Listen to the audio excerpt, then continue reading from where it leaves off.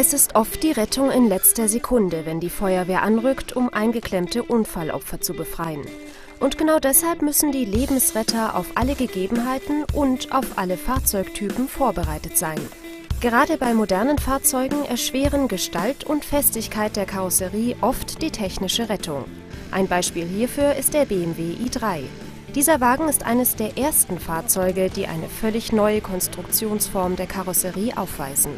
Wir haben hier ein Fahrzeug, was zusätzlich aus einem ganz neuen Werkstoff im Karosseriebau besteht, nämlich aus Carbon-Faser-Verbundwerkstoffen. Und hier ist es ganz, ganz wichtig zu erproben, funktionieren denn die Werkzeuge der Feuerwehren ähm, und dauert es länger, aus so einem Fahrzeug zu retten? Können wir also auch alle Retter weiter in diese Richtung ausbilden oder müssen wir ganz neue Techniken erarbeiten oder neue Werkzeuge besorgen? Der Schneideversuch macht klar, die Werkzeuge funktionieren auch bei Carbonfahrzeugen. Allerdings müssen die Experten der Feuerwehr ihre Techniken an das neue Material anpassen.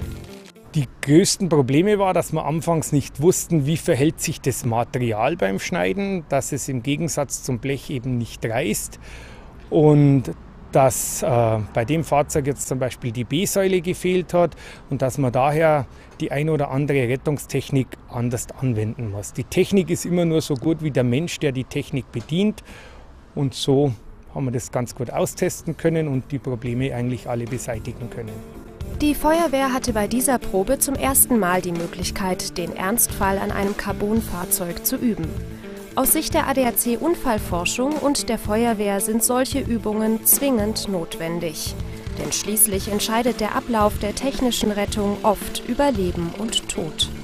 Für die ADAC Unfallforschung ist es sehr wichtig, Rat von Rettern und Rettungsexperten einzuholen, denn nur diese Leute können entscheiden, welche Informationen müssen auf das Rettungsdatenblatt, was ist bei einem Fahrzeug kritisch oder was funktioniert bei einem Fahrzeug in der Rettung. Und nur diese Leute können auch entscheiden, ähm, wie können wir denn die Rettung weiter verbessern durch fahrzeugtechnische Maßnahmen oder durch taktische Maßnahmen.